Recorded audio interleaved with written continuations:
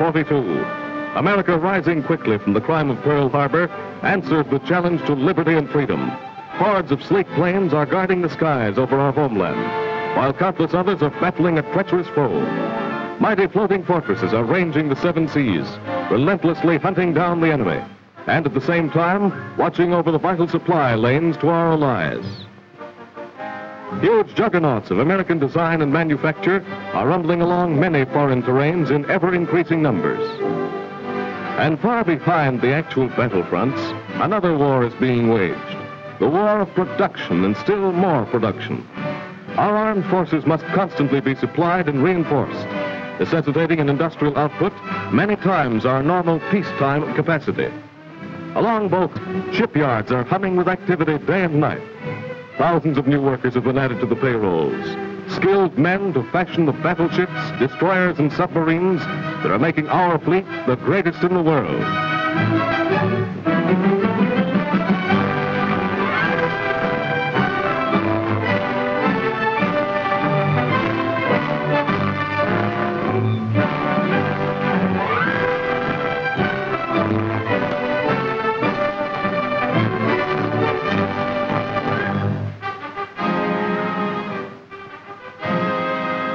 Behind the guarded doors of giant plants throughout the country, airplanes of every type and design are being built by the thousands. Sleek fighters, capable of doing over 400 miles an hour. Dive bombers that can swoop down on their prey at a speed of over 600 miles an hour. First, the skeleton of the plane is speedily formed by scores of skilled specialists. Every part must be fitted with microscopic accuracy. While the frame is being assembled, other workmen are building and testing the new powerful motors that will carry the plane into the sky. Equally important to the all-out war effort is production of tanks. These Titans, some of which weigh over 50 tons and contain more than 40,000 specially made parts, are now rolling off the assembly lines at a fantastic rate. Ready to take their place in the fight for freedom.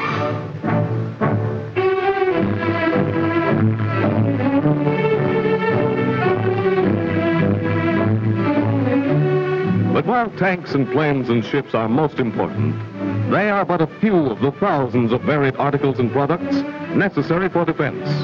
More production means greater supplies of raw materials, materials that come from everywhere.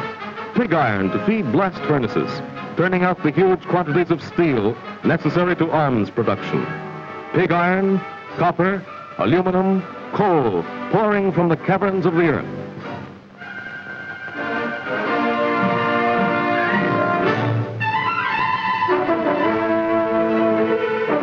Rubber for the tires on which roll the modern mechanized army, and for a thousand other uses.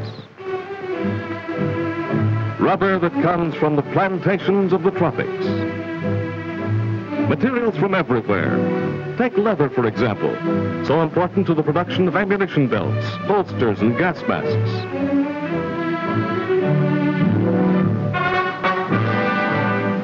Where does it come from? Why, from the Western steer, of course. That's his contribution to national defense. And his cousin the cow does her bit too, by providing the country with the most important factor in personal defense, pure, wholesome milk. For milk with its bone-building calcium and health-building vitamins fortifies the body and makes America strong by making her citizens strong.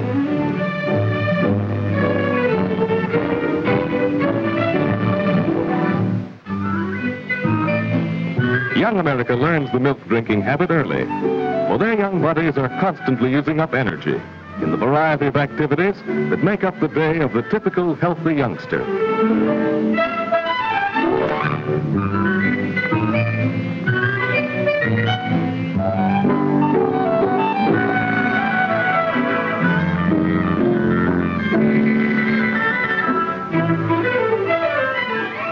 Swimming and skating and football are great fun, and the children love them. But they are energy burners, and this energy must be replaced by nourishing foods. That is why smart mothers start their children off right each morning with a brimming glass of milk. For they know that no other food supplies as many healthful elements. And what is true for the children is even truer for adults. The tension and pace of these nerve-wracking days take a toll of our energies that is potentially dangerous unless we take extra care in the choice of proper food. More and more people are beginning to realize the importance of cream on their cereals and butter on bread, topped off with a glass of milk. For breakfast is the meal that sets us up for the rigors of city life, the continuous energy-draining effort to keep up with the pace and throb of the city itself.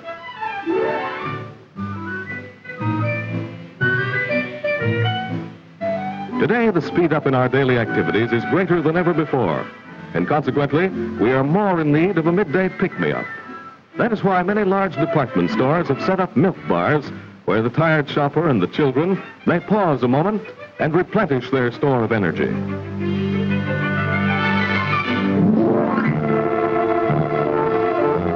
That is why milk bars have sprung up everywhere. For wise men and women realize that now is the time for all of us to be at the peak of our productive capacity.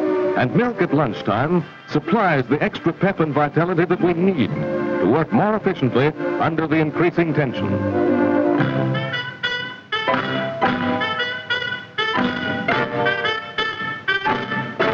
For working as they do in towers of concrete and stone, that glass of milk is their only chance to capture the healthful elements that come from broad green fields, bright sunshine, and fresh country air. Here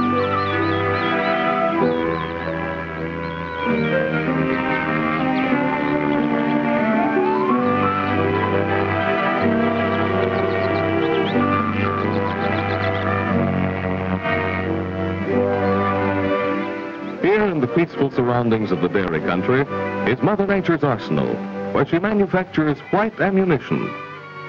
These cows have nothing to do but graze in the sun all day and sap up the health and vitality of the countryside so that it may be passed on in their milk to the people who are cooped up in the cities.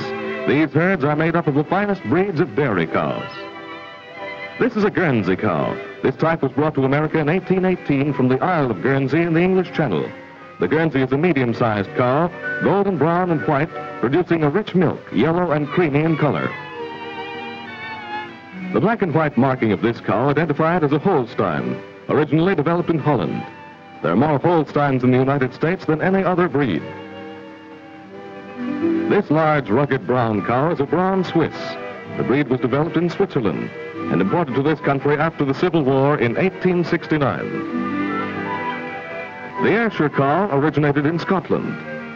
It is reddish brown and white in color and produces a very high quality of milk.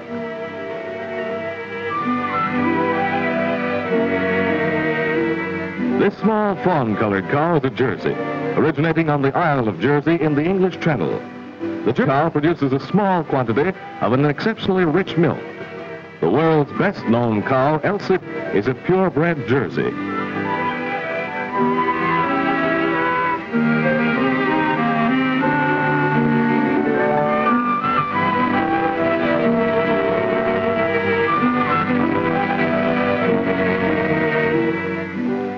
After a full day's grazing, the cows are on their way back to their spotless stalls. A far cry from the conditions prevalent in 1851, when Gail Borden was experimenting with milk preservation. At that time, cows were kept in dirty, unhealthful surroundings. Gail Borden realized that cleanliness was of utmost importance in the handling of cows and milk. But although this fact seems obvious to us now, he had to fight farmers tooth and nail to get his views accepted. Today, the things for which he fought have become the standards of the milk business. Cleanliness is the watchword, and everything from the barns and attendants to the cows themselves is under rigid inspection. For milk is more than just a business today, it is a public responsibility. Here, the cows are being fed carefully prepared vitamin-rich silage and grain as a sort of dessert to top off their day in the pasture. Then, if she's thirsty, she need only press her mouth into the basin of this automatic fountain right beside her. Now, before the cow is ready for milking, she is carefully washed down by attendants who know, as does everyone else in the milk business, that you just can't be too clean where milk is concerned.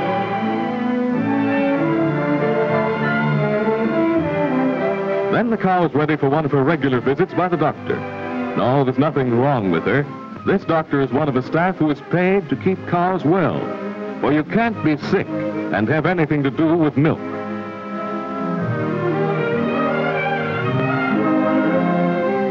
After a thorough examination, the doctor then takes a sample of the cow's milk. This he carefully checks for color and flakiness. And if the milk is up to the established high standard, the cow is then ready for the milker.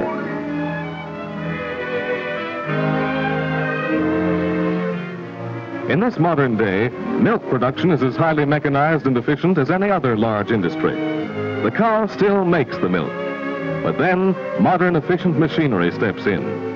These mechanical milkers, for example, are both cleaner and faster than the old milking by hand process, and from the cow's standpoint, far more gentle. The greatest advance in mechanical milk production that has ever been made is undoubtedly the rotolactor. Employing the principle of the assembly line, this large merry-go-round type of machine saves time by bringing the cow to the attendant instead of making it necessary for the attendant to go to each cow. The cow enters at one end of the machine into its own separate enclosure, each complete with a milking machine and a receptacle for the milk. The cows are first thoroughly washed by the attendants. The receptacle, too, is sterilized with scalding water before it is used. Then, as the cows move around, the attendants attach the milking machine. The rotolactor affords the utmost in protection for the purity of milk since the human hand has so little to do with the milking process.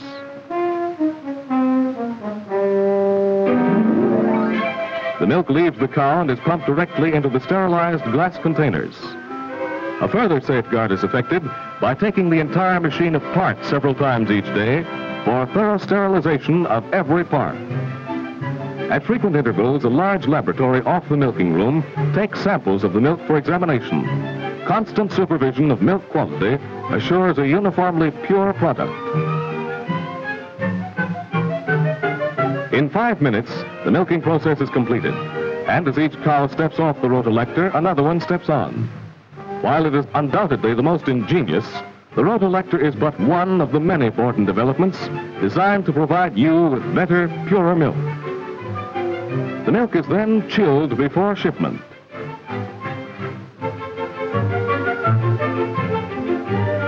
In other localities, the milk is brought to large receiving stations by the farmers themselves. They're advised about the sanitary precautions that must be taken, not only in the production of milk, but in the transportation as well.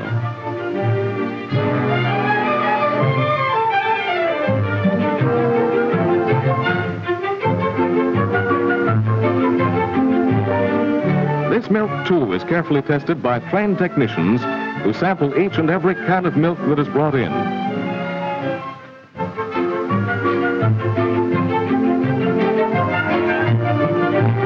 The milk is then weighed, for farmers are paid by the pound, not by the quart.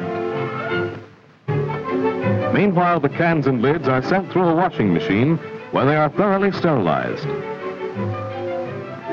Each farmer picks up only the cans that bear his number, and he keeps them securely sealed until ready for use again. The laboratory, every known testing device is employed to check the appearance, purity, and quality of the milk. A very careful record is kept of each farmer's product, a sample of which is sent to the laboratory for detailed analysis, from which the amount of money due each farmer is computed. These tests also give the farmer valuable information on cow feeding and diets that will further raise the quality of milk from his farm. Thus, the laboratory serves a twofold purpose. First, by assuring the absolute purity of today's milk, and at the same time, investigating and discovering the means of making tomorrow's milk even finer.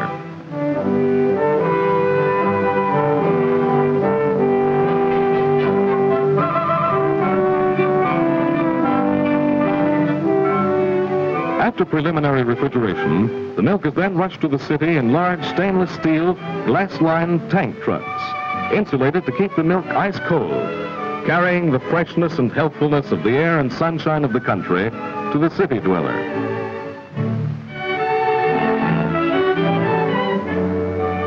Arriving at the plant in the city, the milk is pasteurized for 30 minutes at a temperature of 143 degrees Fahrenheit as a final guarantee of safety.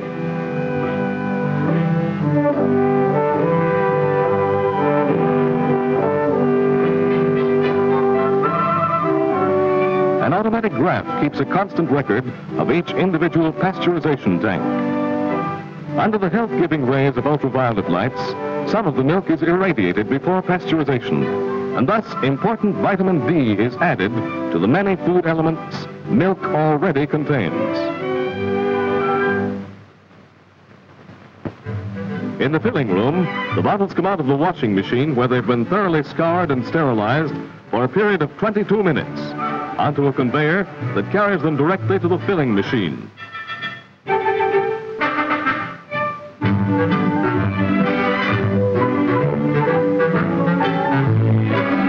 Like an army of glass soldiers, they march up at the rate of 120 every minute to each machine to receive their quota of white ammunition. Powerful defender in the constant fight for better health.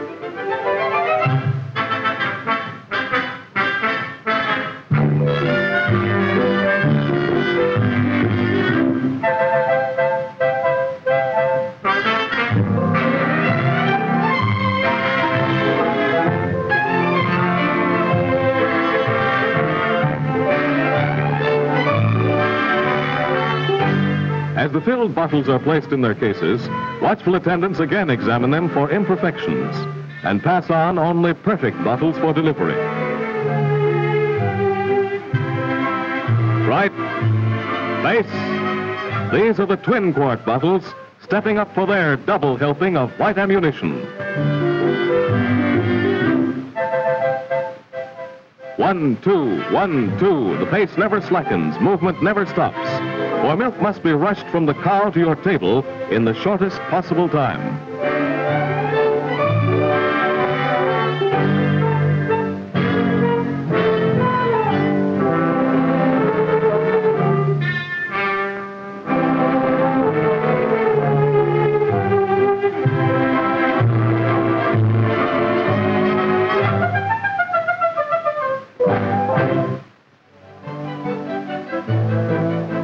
As everywhere in the process of milk production, the laboratory plays an important part. Every step of pasteurization and bottling is carefully watched by scores of skilled technicians utilizing every type of modern testing equipment and laboratory apparatus. It is their observations that make the milk you drink the safest, purest, and most healthful food you can buy.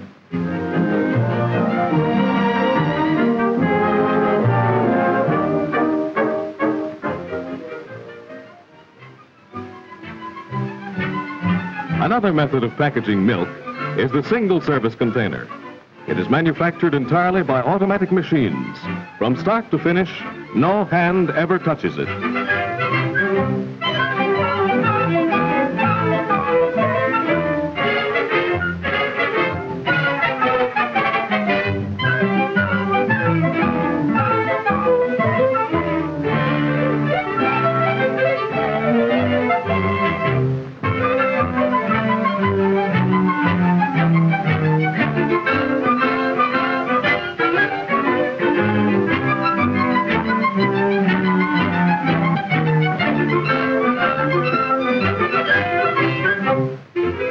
Once the container is formed, it is coated inside and out with scalding paraffin.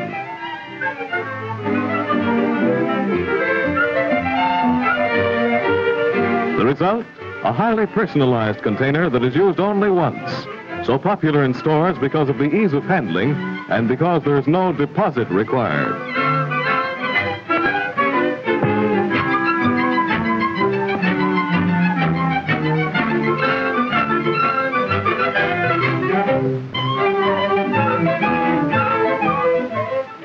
containers are filled and packed in exactly the same manner as the bottles.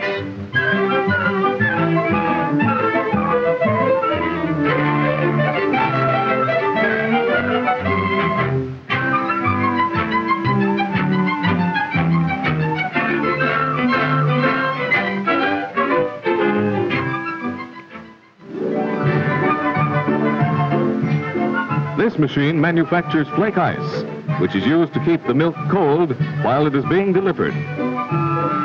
Refrigeration is essential because milk is a very perishable food and must be protected on every step of its journey.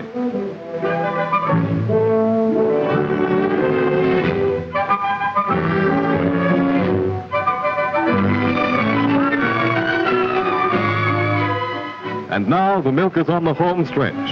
In their refrigerated trucks, a silent army of milkmen set out in the wee hours of the morning to deliver their bottled health. Down every street, along every avenue, rolls the Dawn Patrol.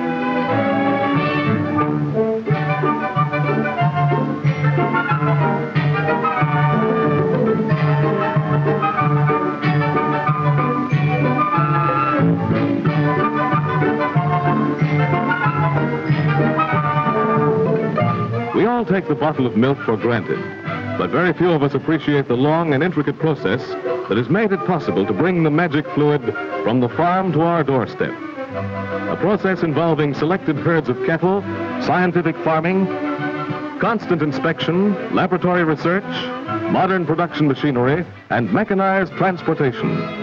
But it is far more important for us to appreciate the fact that milk is the foundation on which to build family meals.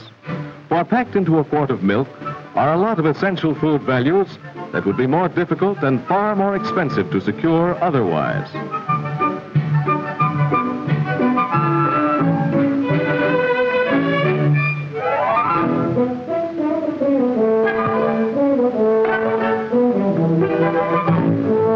Bottle boxes are furnished by the thousands to families whose milk would otherwise be exposed to the elements. Incidentally, the man who made this box never saw it, for he is one of a shop full of blind men who are kept gainfully employed the year round making these boxes. Not only does milk go to homes, but every morning a huge fleet of these heavy-duty, refrigerated wholesale delivery vehicles rolls out of the branches on their way to serve the stores, restaurants, hotels, and hospitals of the metropolitan area.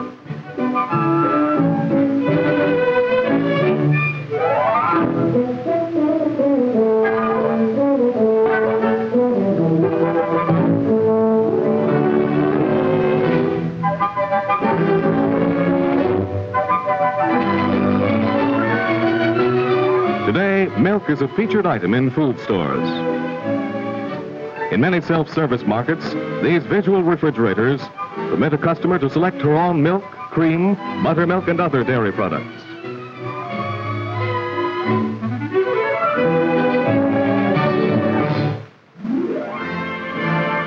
And today, milk is playing an important part in the training of the greatest armed forces in our history. A famous general once said, the more milk you put into a soldier, the more fight you get out of him. For milk, with its healthful vitamins and mineral elements, builds strong men. And in this time of need, it is strong men who give America its strength.